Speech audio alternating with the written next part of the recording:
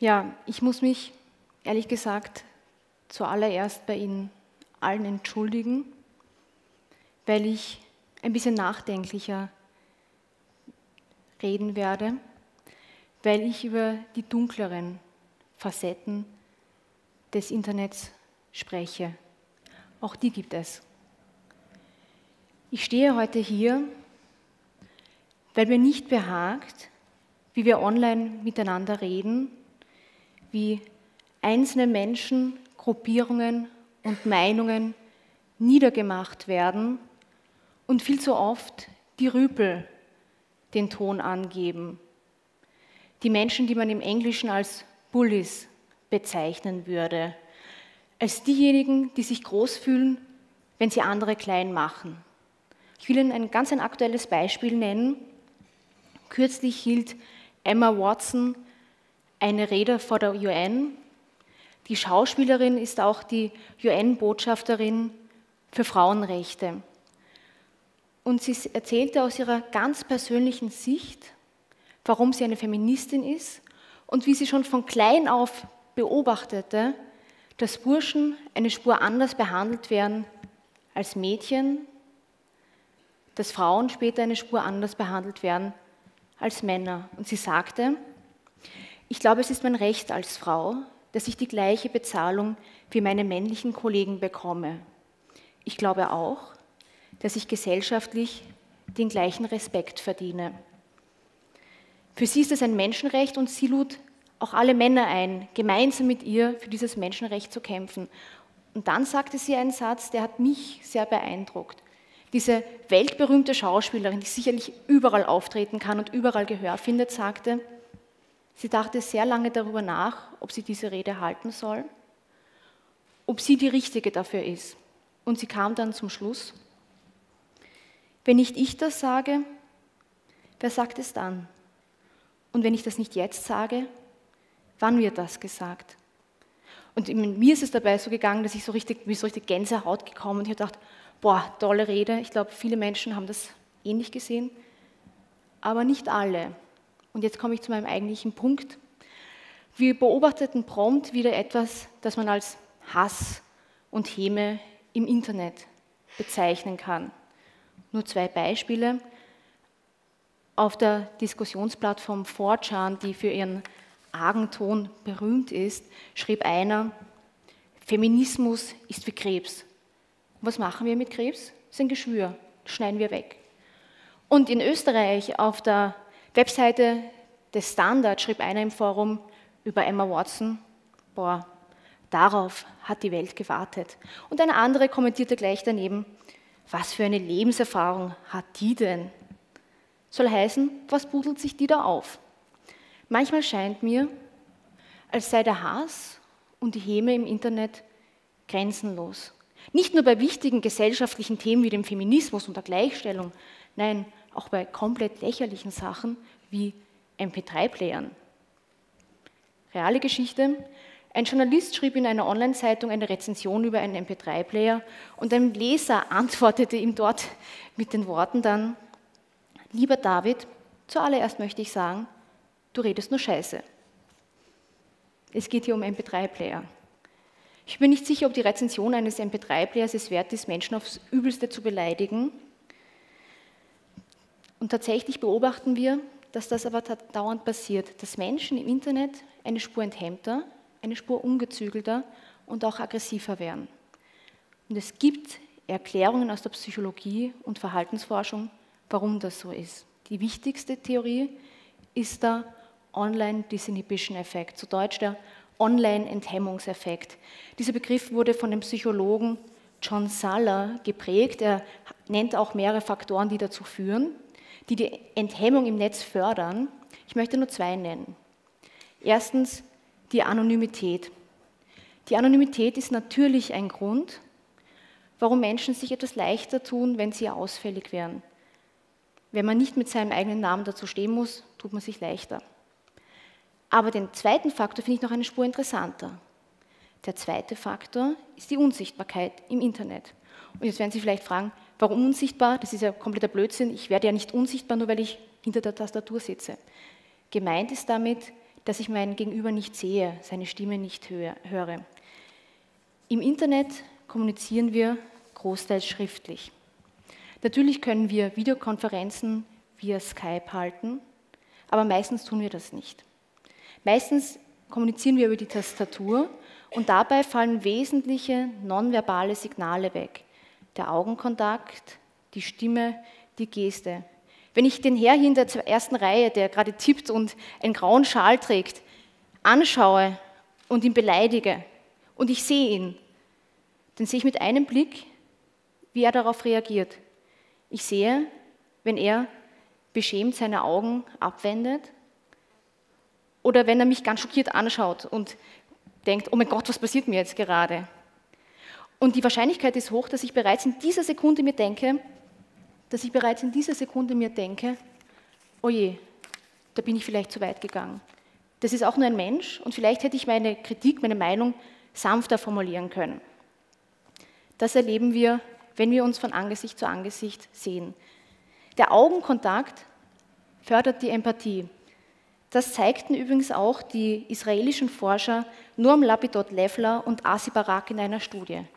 Der Augenkontakt fördert die Empathie, doch im Netz haben wir meistens nicht den Augenkontakt. Wir haben keine Mimik und Gestik und auch ein Smiley kann kein Lächeln ersetzen. Was also tun? Meistens kommen dann sofort die Rufe nach dem Ende der Anonymität. Der Gedanke ist, schaffen wir die Anonymität im Internet ab und dann sind alle Probleme gelöst. Ich habe ein Buch über dieses Thema geschrieben und kam zum Schluss, das stimmt so nicht. Die Anonymität ist nämlich nicht der einzige Faktor, warum Menschen oft eine Spur ruppiger online werden. Schauen Sie sich nur Facebook an. Auch dort findet man mitunter unangenehme Dinge, findet man manchen Hasspostings. Nein, ich glaube, wir müssen etwas tiefer gehen und die Architektur des Internets überdenken und unseren Umgang damit. Wir machen es nämlich viel zu oft den Rüpeln auch zu einfach. Ein Beispiel. Internetforen haben sich eigentlich seit den 90er Jahren nicht wesentlich weiterentwickelt. Gehe ich heute in ein Internetforum, ist es meistens so, dass ich als oberstes den neuesten Kommentar sehe. Das Forum wird also chronologisch gereiht und das hilft jenen, die gar nicht diskutieren wollen, sondern nur die anderen zutexten. Nehmen wir an, ich poste 100 Mal in einem Forum. Dann bin ich 100 Mal an erster Stelle ganz oben prominent sichtbar. Aber was ist, wenn ich nur einmal poste, weil ich eigentlich nur eine Sache zu sagen habe und wenn ich diesen Punkt dann gebracht habe, passt für mich, dann habe ich meinen Beitrag geleistet. Dann poste ich einmal und ich bin nur einmal oben. Ich bin nur ganz kurz oben sichtbar. Aber ist meine eine Wortmeldung denn so viel weniger wert als die Wortmeldung des anderen, der auf Teufel komm raus hundertmal postet? Genau solche Systeme helfen jenen, die extrem aggressiv kommunizieren und eigentlich die anderen nur niedertexten wollen. Die gute Nachricht ist aber, das müsste überhaupt nicht so sein. Es gibt bereits Webseiten, die das ganz anders praktizieren. Ein gutes Beispiel ist das amerikanische Blog Gawker.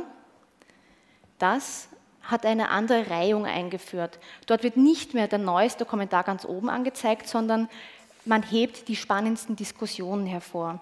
Und Gorka versteht als spannendste Diskussion jene Wortmeldungen, die oft geteilt, empfohlen, diskutiert wurden oder wo auch die Journalisten der Webseite selbst mitgesprochen haben.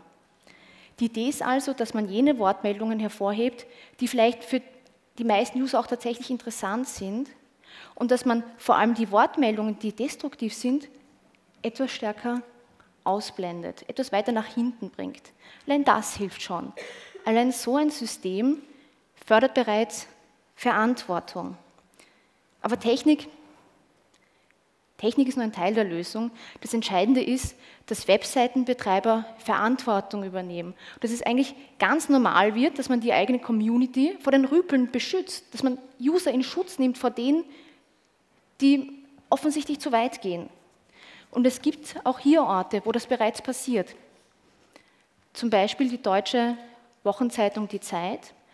Auf deren Online-Ausgabe wird tatsächlich jeder der 16.000 Kommentare, die in der Woche gepostet werden, gelesen.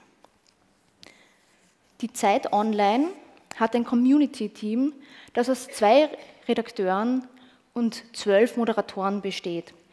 Und die greifen notfalls ein und sind dabei aber extrem transparent. Und sie schreiben zum Beispiel, wenn etwas gelöscht wird, warum das so ist. Da steht dann entfernt, da unsachlich oder entfernt. Bitte belegen Sie Ihre Aussagen mit seriösen Quellen. Danke, die Redaktion. Das Ziel ist, dass man den eigenen Lesern auch zeigt, was für eine Debatte man sich wünscht und klar macht, wo man die Grenze zieht zwischen einer zulässigen Meinung und einer Verschwörungstheorie oder einer polemischen, untergriffigen Reaktion. Die Idee ist dort auch, dass die eigenen Mitarbeiter vorleben, wie eine angenehme Debatte ablaufen kann. Die Mitarbeiter sollen sich auch selbst einbringen und zeigen, wie man miteinander respektvoll diskutieren kann. Und ich habe mit David Schmidt, das ist einer der Community-Redakteure, dort gesprochen und er hat mir erzählt, wie sich das dann auswirkt. Ich zitiere ihn. Er sagte, sobald irgendein Mitglied der Redaktion, sei es auch nur ein Moderator, einen Kommentar verfasst, beruhigt sich jede Debatte, zumindest ein Stück weit, zumindest eine Zeit lang. Ich glaube, es liegt daran, dass, sie, dass die Leser erst einmal vor diese Wand gestellt sind. Die Seite wirkt irgendwie kalt, unmenschlich. Das ist ein Produkt. Das lese ich und dann fange ich an zu zetern. Sobald aber ein Mensch ist, der sagt, dass er sich Gedanken dazu gemacht hat, gehe ich ganz anders damit um. Und ich möchte den letzten Satz nochmal wiederholen, weil ich ihn so schön finde. Er sagte, sobald da aber ein Mensch ist. Da sind wir wieder beim Gefühl der Unsichtbarkeit. Es, ist, es klingt absurd, aber die verschriftliche Kommunikation des Internets führt tatsächlich dazu, dass man zu leicht vergisst, dass der andere auch nur ein Mensch ist. Und darum braucht es Tools und Mechanismen, die das wieder in Erinnerung führen und auch die Empathie fördern. Und jetzt komme ich zu meinem letzten Punkt. Warum ist das wichtig? Man könnte jetzt auch sagen, ist doch egal, wenn sich die Leute online ein bisschen ruppiger verhalten, ein bisschen aggressiver als sonst zueinander sind. Oder vielleicht ist es sogar interessant zu sehen, welche Aggression, welche bösartigen, auch dunklen Gedanken in den Menschen drinsteckt, was man sonst nicht sieht. Ich glaube, diese Argumentation ist falsch. Ich persönlich will zumindest nicht jegliche Aggression sehen, die in den Menschen drinsteckt. Ich glaube, es ist eine große, große Leistung unserer Gesellschaft, dass wir lernen, mit unseren Aggressionen so umzugehen, dass wir nicht ständig andere Menschen verletzen. Das sollten wir eigentlich auch im Internet tun. Und noch wichtiger ist meines Erachtens, dass wir in einer Zeit leben, in der immer mehr gesellschaftliche Debatten, immer mehr gesellschaftliche Fragen im Internet ausverhandelt werden. Und da stellt sich die Frage, was bedeutet es für die Online-Debatte, wenn diese immer von Beschimpfungen und Beleidigungen überschattet wird? Wirkt sich das irgendwie auf die Sichtweise der Menschen, auf die Einstellung der Menschen aus? Hat das einen Effekt? Genau das fragten sich auch Forscher der University of Wisconsin, die eine große Studie machten und 1100 Menschen befragten. Diese 1100 Probanden sollten zuerst einen Blog-Eintrag über Nanotechnologie lesen, der ziemlich sachlich verfasst war, und darunter dann die Kommentare. Und die eine Hälfte las Kommentare, in denen zwar heftig diskutiert oder eifrig diskutiert wurde, aber ohne Schimpfworte. Und die andere Hälfte las die exakt gleichen Kommentare, nur mit einem Unterschied. Es wurden ganz geschickt so Schimpfworte mit eingewoben. Zum Beispiel kam ein Argument, das die anderen auch lasen, nur dahinter stand dann der Satz, wer das nicht versteht, ist ein Idiot. Und die Forscher verglichen dann diese beiden Gruppen und um sich anzusehen, ob die dem Thema Nanotechnologie dann anders gegenüberstehen. Und sie nannten ihre eigenen Ergebnisse verstörend. Denn die Schimpfpostings führten dazu, dass die Befragten dem Thema Nanotechnologie viel negativer gegenüberstanden, egal was im Artikel wirklich drin stand. Und das Gelesene wurde viel negativer interpretiert, wenn darunter Beleidigungen auch zu finden waren. Das legt den Schluss nahe. Ich kann tatsächlich ein Thema vergiften, nicht indem ich Argumente verwende, nein, nur Beleidigungen, die reichen schon. Und die Forscher nannten das sehr griffig den Nasty-Effekt, den fiesen Effekt, weil es eigentlich total fies ist, dass ich nicht mit Argumenten gewinne und mich durchsetze, sondern nur mit der Tonalität. Und mir persönlich hat das sehr zu Nachdenken aufgegeben. Ich möchte nur an Emma Watson erinnern. Die Frau stellt sich hin und sagt, mir ist Feminismus wichtig. Ich glaube, das ist ein wichtiges Anliegen in unserer Gesellschaft, dass Männer und Frauen die gleichen Rechte und Möglichkeiten bekommen. Und sie erntet im Internet auch Spott und Hass dafür. Was aber, wenn diese Hasspostings und dieser Spott dazu führt, dass ihr berechtigtes Anliegen desavouiert wird? Wenn das tatsächlich mit den Ausschlag gibt, warum Feminismus zum Beispiel diskreditierter wird, nicht Argumente, Spott. Die Gefahr ist also, dass hier einzelne Themen kaputt geredet werden, mit Aggression, nicht mit Argumenten. Und in einer Zeit, in der wir immer mehr unsere demokratischen Debatten im Internet ausleben, halte ich das für riskant. Das ist der Grund, warum ich heute hier stehe und warum ich es für wichtig empfinde, dass wir auch im Internet auf Augenhöhe miteinander diskutieren können. Ich persönlich glaube auch, dass immer mehr Menschen das ähnlich sehen und dass sogar immer mehr Webseitenbetreiber und Plattformen erkennen, dass es wichtig ist, Verantwortung zu übernehmen und für einen respektvolleren Ton zu sorgen. Denn es geht hier nicht um einzelne Befindlichkeit oder um die Zukunft einzelner Webseiten. Es geht um eine ganz zentrale Frage. Wie wollen wir im 21. Jahrhundert miteinander diskutieren? Und wer entscheidet das, wenn nicht wir? Und wann diskutieren wir das, wenn nicht jetzt? Dankeschön.